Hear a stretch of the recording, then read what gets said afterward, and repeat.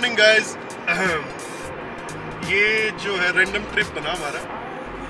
आज है सैटरडे और कनाडा में ये लॉन्ग वीकेंड है। सैटरडे संडे मंडे तीन दिन की छुट्टी है। मतलब सैटरडे संडे छुट्टी होती है मंडे की छुट्टी है, जो काम करने वाले हैं ऑफ़िस वाले जो हैं। तो हमारी छुट्टी थी तो हमने हमारा जो सीन बना, वो बना कि हम बैंक चलते हैं कैलगरी चलते हैं, फिर एल्बर्टा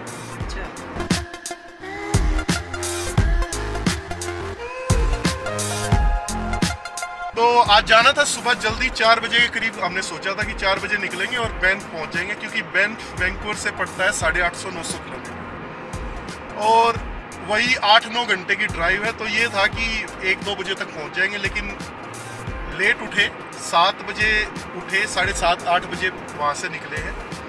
दूसरा ये हो गया, क्योंकि रैंडम ट्रिप बना था तो होटल वगैरह नहीं मिल रहे हैं, क्योंकि लॉन्ग वीकेंड है, सारी चीज़ें बुक है।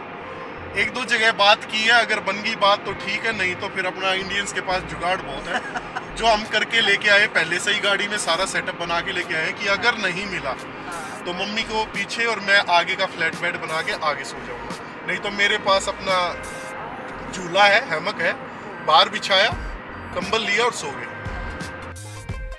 गए हैं तो अभी हम ऑलमोस्ट हमें दो घंटे हो गए पहुँचते हुए। खाने चलते पीने हुए। का सेटअप करके। खाने पीने का पूरा सेटअप है जो वीडियो में आप आगे देखोगे पूरी गैस लेके आए सारी चीज़ें करके आए। ले रखा है। और ठंडे रखो कुछ रखो। दो घंटे के करीब हम पहले से ही हमने ड्राइव कर चुके हैं साढ़े नौ बज के चालीस मिनट हो चुके हैं। अभी हमने क्रॉस किया था हॉप और तब तक पहुँचते हैं आगे का आगे दिखाएँगे तब तक आप व्यू का नज़ारा।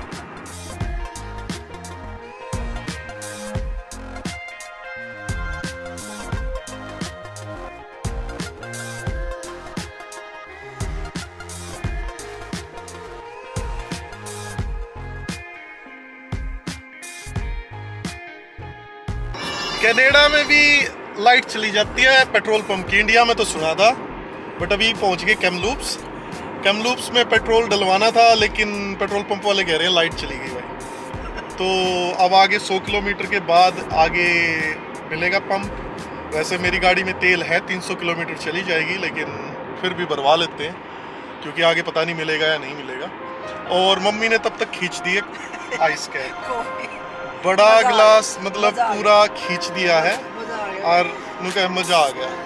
सुबह तक मैं भूखा बैठा हूँ और मम्मी ने खा लिए आलू बखारे चॉकलेट। चॉकलेट। तो बता दे फिर कित पहुँच गया आज? भाई कुछ मैंने आज तक कित पहुँच गए के, के देख लिया बस इतना मज़ा आ रहा है बुझे मैंने तोड़ो रे कति तोड़ अच्छा लगे अल्बर्टा चारों तरफ़ है?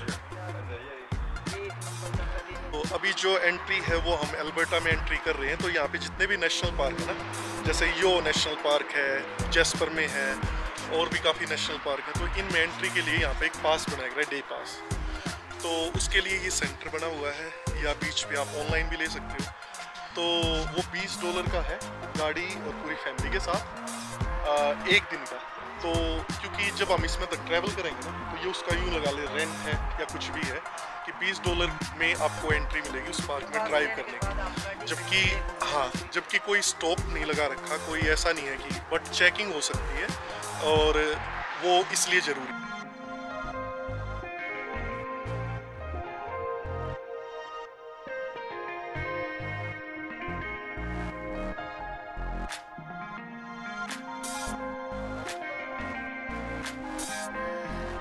हमने जो माउंटेन है, कितना बड़ा माउंटेन है और कितना अच्छा व्यू आ रहा है ना। बीसी के टाइम में और एल्बर्टा के टाइम में एक घंटे का फ़र्क है। मैं अभी ये सोच रहा साढ़े तीन हुए।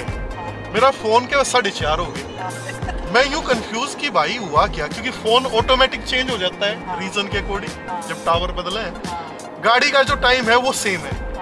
तो मैं भी खुद साढ़े तीन हो गए और इसमें दिखा साढ़े चार क्योंकि वो एक घंटे का डिफरेंस है। ये जो हाईवे है ये है हाईवे नंबर वन जो कि सीधा यहाँ आ रहा है बैंक आ रहा है। आगे कैलगरी मेरे हिसाब से यही हाईवे जाएगा हाईवे नंबर वन। और आई गेस ये यही वो हाईवे है जो सीधा ओंटेरियो टोरंटो जा रहा है। तो इस पर एक बड़ी खास चीज़ मैंने नोटिस की क्योंकि यहाँ पे ना वार्निंग लगा रखी थी कि 5500 किलो उससे ओवर अगर वेट है आपके ट्रक का ये बात है ट्रक वाले या कमर्शियल व्हीकल के लिए। तो आप नहीं जा सकते मतलब इस पे लिमिट है। तो अभी मैंने बोर्ड पढ़ा इन्होंने लगा रखा है कि सेंसर इन मोशन मतलब वेट जो सेंसर है अगर आपने फिर भी ले भी आए ना अगर 5500 से ज़्यादा है और आप ले आए तो रोड पे सेंसर लगा रखे मोशन में। वो आपका वेट काउंट कर लेंगे। और उसके बाद ये स्केल था। स्केल पे ऑफिसर बैठे होते हैं। हाँ। उसी टाइम ट्रक को साइड पुल ओवर करवा लेंगे कि आप ओवर वेट लेके आए। हाँ क्योंकि आपके जो रोड में सेंसर लगा रखे हैं जो आपके वेट को काउंट कर रहे हैं। मतलब ये जो टेक्नोलॉजी है ना ये जो चीज़ें हैं ये बड़ी डिफरेंट है ना। इंडिया में नहीं हो सकता। तो स्केल जो मैं बात कर रहा हूँ स्केल की बार बार जो मैं बात कर रहा हूँ तो स्केल यहाँ पे क्या है? स्केल होता है, इसके दो होते हैं ओपन या क्लोज अगर स्केल ओपन है तो स्केल का मतलब है जो ट्रक वाले हैं, जो कमर्शियल व्हीकल हैं, उनके जो डॉक्यूमेंट चेक होते हैं, उनकी जो लाइटिंग चेक होती है, उनकी जो ये इंडिकेटर जल रहे हैं या नहीं जल रहे हैं, या उनके सारी जो सिस्टम है वो वर्क कर रहा है, या वो आठ घंटे से ज़्यादा चला रहा है क्योंकि इनका ना एक रेस्ट होता है। कि आप आठ घंटे कंटिन्यू चला सकते हो उसके बाद आपको चार या पाँच घंटे की नींद ज़रूरी है तो वो सारा चीज़ चेक होती है। जैसे अपना है इंडिया में हाँ। तो पुलिस वाले अगर रोक लिए तो सिर्फ़ डॉक्यूमेंट चेक करें। यहाँ पे हर चीज़ है कि बंदा सोया कितना चलाया कितना। यहाँ पे क्या है? बंदा ट्रक लेके चल रहा है वो सोया नहीं सोया उसकी तो मौत वो आप देखेगा वो कितना ना मार सके है, वो रिस्क कैलकुलेट करते हैं कि अगर ये बंदा नहीं सोया, इसके ट्रक में वेट है, मान लो पाँच हज़ार टन। ट्रक रुकेगा नहीं। ट्रक सामने गाड़ी आ रही है, मान ले पाँच। पाँचों गाड़ियाँ ने कुचल देगा। आदमी कितने मरे हो सके, पाँच गाड़ियाँ में बीस आदमी। तो ये वो रेशो चेक करते हैं, इसलिए ट्रक की तो इंस्पेक्शन होती होती है कि तेरे ब्रेक चेक काम कर रहे हैं, तेरे इंडिकेटर प्रॉपर काम कर रहे हैं। लेकिन बंदे की भी ये चेकिंग होती है। इसमें भी फ्रॉड कर लेते हैं। फ्रॉड तो नहीं मतलब जो अपनी, इसमें भी एक बुकलेट वाला सिस्टम था। अब में चिप लगी हुई है। चिप में ऑटोमेटिकली जैसे ही ट्रक टर्न ऑन होगा तो ड्राइवर के अकॉर्डिंग चिप है कि ये ये ट्रक इस ड्राइवर को इतने बजे असाइन किया था। इसने ये लोड वहाँ पे उतारना लेकिन जो पहले के ट्रक थे, उनमें क्या है? बुकलेट थी। हाथ से बढ़ना तो लोग हाथ से बढ़ देते थे। लेकिन उसमें भी वो इतने शाने हैं कि 500 किलोमीटर तूने ट्रेवल किया छः घंटे में। चार घंटे तू सो भी गया। लास्ट तेरी जो तूने एंट्री करी है, वो छः बजे करी थी।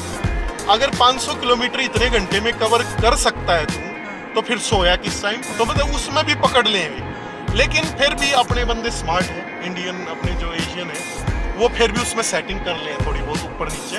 वो कंटिन्यू चला के कहीं एक जगह स्टे ले ले मैं छः सात, आठ घंटे। तो ये सिस्टम है स्केल का। बट मेन जो पॉइंट था वो था यहाँ टेक्नोलॉजी का कि सेंसर लगा रखे हैं रोड में कि आपने अगर ट्रक का वेट ज़्यादा भर भी रखा है तो रोड अप में जो सेंसर है वो डिटेक्ट करके और आपको स्केल पे रुकना ही पड़े।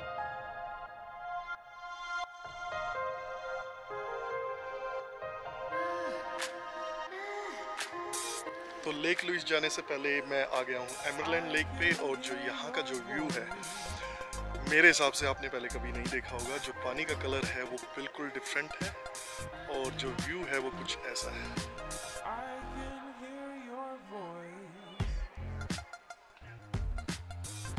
तो ये पीछे जो है, ये एमरलैंड लेक है। किलोमीटर पहले पड़ती है लेक लुइस से। और क्योंकि लेक लुइस का जो टाइमिंग है वो आई गेस सात बजे वो बंद हो जानी है तो वहाँ तक हम नहीं पहुँच पाएँगे क्योंकि छः यहीं पे बज चुके हैं। तो हमने सोचा क्यों ना आज एमरलैंड लेक को कवर कर ले और कल हम लेक लुइस को सुबह सुबह छः बजे जाके वहीं पर सनराइज देखें। तो तब तक ये देखो। मम्मी, कैसी लगी लेक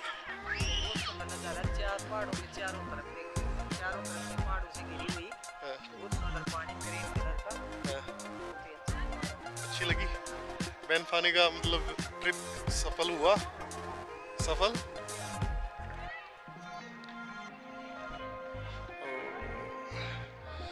वो पीछे पहाड़ ये भी लेक और इधर ये इन्होंने अपना कोई रिजॉर्ट बना रखा लेक भी आप यहाँ पे रेंट पे रूम वगैरह भी ले सकते हो। और बहुत ही सुंदर लेक है। अगर आप बैंक का ट्रिप करते हो तो ये जब आप ब्रिटिश कोलंबिया से आते हो वैंकूवर से आते हो या गोल्डन की तरफ़ से आते हो तो पहली लेक पड़ती पड़ती है Emerald Lake so Lake Louise जाने से पहले एक बार ज़रूर यहाँ पे रुक के और लेक का नज़ारा लेना। पार्किंग ईजिली मिल जाती है। आ, कोई ऐसी बड़ी प्रॉब्लम है नहीं। और ये बिल्कुल ग्राउंड लेवल पे आपको कोई हाइक नहीं करनी कुछ नहीं करना।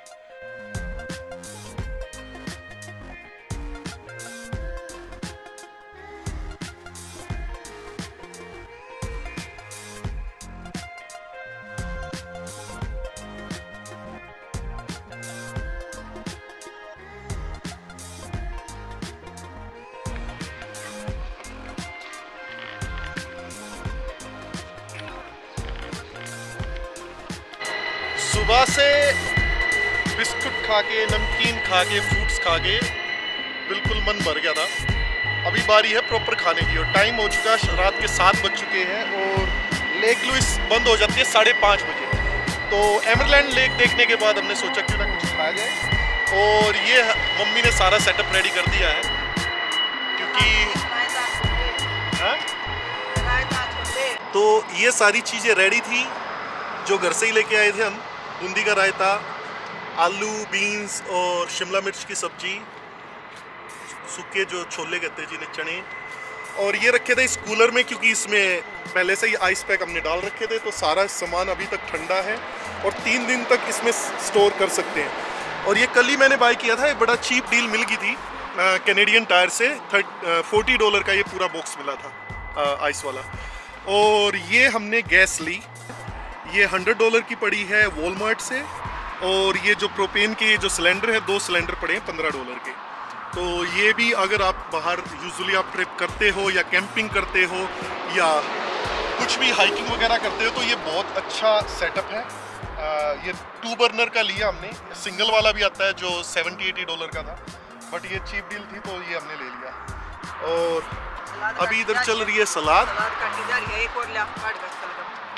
ये क्या काट दिए? शलगम। शलगम। प्याज। दही टमाटर। और ये अपना इलेक्ट्रिक स्कूटर यहाँ पे भी आया हुआ है बैंक की सैर करने। क्योंकि वहाँ पे डाउनटाउन में इससे घुमा जाएगा हाँ? ऑयल भी रखा है पानी की बोतलें हैं एक्स्ट्रा ये मेरा वो झूला है हेमक वो अम्ब्रेला है अगर धूप ज़्यादा हो जाए। और इसमें पड़े हैं पास्ता आलू। ये देख लो ये सेटअप देख लो एक बार। जो मेरी ये टेबल थी ये मैं जब हाइकिंग पे जाता था कैंपिंग पे जाता था तो मैं ये यूज़ कर लेता था चेयर के साथ। तो मम्मी ने इसको मम्मी बेलन तो ले आई चकला भूल गई। अब चकले कुछ तो जुगाड़ बनाना है ना इंडियन है भाई जुगाड़ तो बनाओगे। जुगाड़ बना दिया जब ये तो फिट बन गया जुगाड़। और मतलब चेयर पे बैठ के रोटी बनाई जा रही है और मैं अब नीचे बैठ के रोटी सेकूँगा।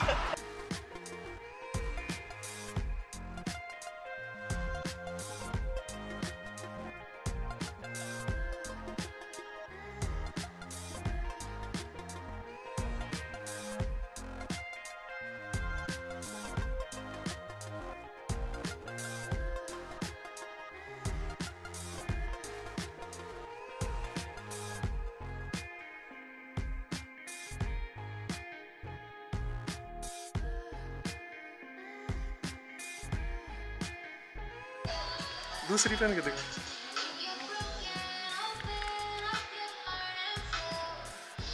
कौन सी लेनी?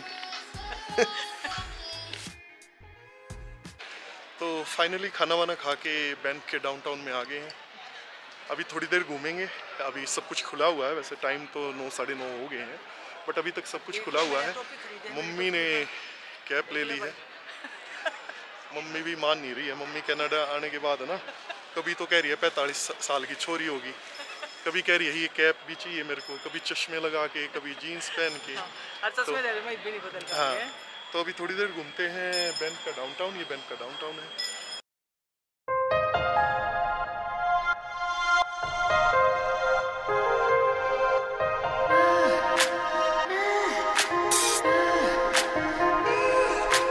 I can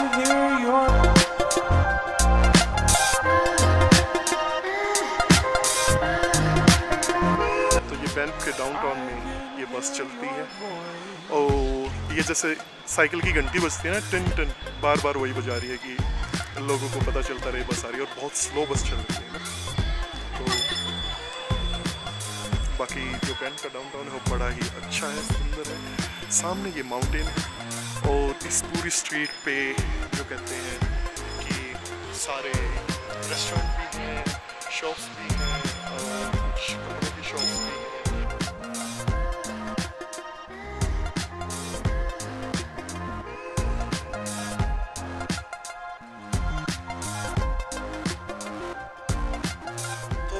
फाइनली बैंक का डाउनटाउन घूम लिया है। अब जाके होटल कहीं मिला नहीं। अभी हमने पता किया सारे बुक हैं। तो वीडियो जो है वो पार्ट में आएँगी। तो कल मिलते हैं नई वीडियो के साथ। तो आज हमने एमरलैंड लेक देख ली है। कल देखेंगे मोरेन लेक लेक लुइस में भी कल देखेंगे या परसों देखेंगे। और कैलगरी जाएँगे और फिर आके दोबारा बैंक में घूमेंगे। चलो मिलते हैं कल दोबारा नई वीडियो के साथ। तब तक गुड नाइट बाय